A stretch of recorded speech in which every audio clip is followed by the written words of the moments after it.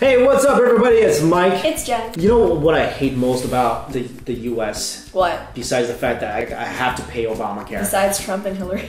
and all that stuff, um, is the fact that there's so many frivolous lawsuits and there's so many, and we're such a litigious society where like you do anything, someone's gonna sue you. I don't think it happens as often in Canada. Yeah, I, don't, I feel like it doesn't happen uh, nearly as often in, in other countries, especially like Europe, U.S. We all know is a very litigious society, and so recently there's this uh, model. Her name is Michelle Kalinkina. She had a haircut. Basically, she got a nick on her neck. A little little nick on her neck. Have you ever got a nick on your neck? Nope, Get a I haircut? I, I mean, I, I have because I'm a guy and they cut pretty close to, to, to the back of my neck. So it happens pretty often. But she said she said she suffered uh, trauma because of this because the, the, the barber was reckless and then now she's suing him for five million dollars. First world problems right here. Wow. Isn't it automatically assumed that when you're getting a haircut that there, there's a chance you might have a bad haircut? Yeah, of course. Do we? I mean, does any barber guarantee? I mean, there, I'm sure there's some guarantee who people who are like, yeah, you know what? If you don't like it, we'll fix it for you. But I don't think anyone goes into a barber shop and a haircut place going, I'm a thousand percent sure this is gonna be like a hundred percent awesome experience. I don't think you know. No, and it's not like he actually messed up her hairstyle or anything. He just like nipped her neck by accident. Yeah. Because he was apparently chopping too quickly. She was getting her haircut at,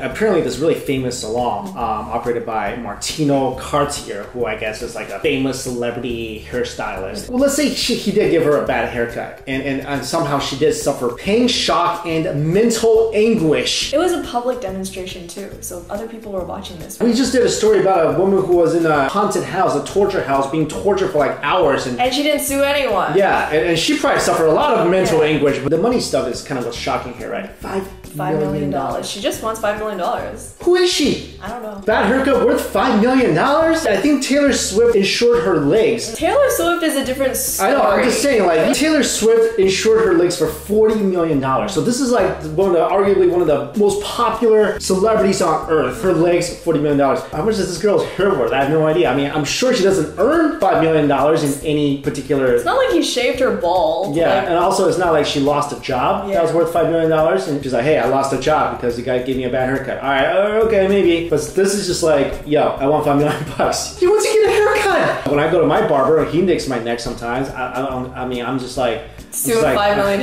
It's like Jeffrey, yo, yo, watch it, man. All right, he's like, "Oh, sorry, Mike. That's about it." I'm like, "Yo, by the way, Jeffrey, let's sue you for a million dollars." I got some mental anguish. My mom is usually the one who cuts my hair, Yeah. and there's this one time she like gave me a bowl cut, and I didn't even say anything about that. Well, I you just can't say anything; she's gonna whoop you or something. well, she's not gonna whoop me, but I suffered through elementary school with a bowl cut, and I didn't say anything. I feel like this is pretty redunculous. So yeah, good luck with that lawsuit. It just kind of it drives me crazy whenever I hear about these stupid lawsuits. Like, you know what? Even if she sued him for like ten thousand dollars, I'd be like, oh, you know what? Okay, fine. Five. Five million ridiculous, dollars. ridiculous. But let us know what you guys think. Thanks for watching. See you. Bye.